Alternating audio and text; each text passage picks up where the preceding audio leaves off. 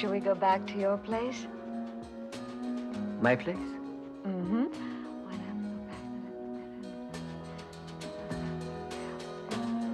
Okay.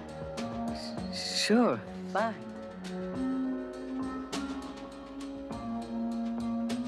Uh, How about your place? Tell me, Hmm?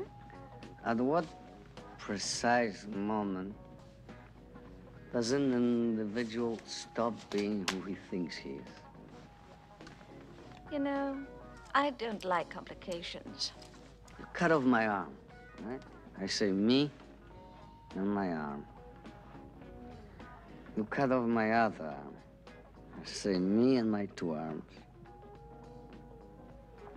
You take off, take, take, take out my stomach, my kidneys, assuming that were possible.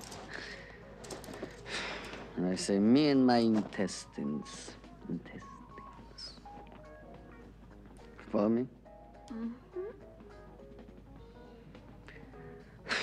And now, if you cut off my head, what do I say? Me and my, me and my head or me and my body? What right has my head to call itself me? Huh?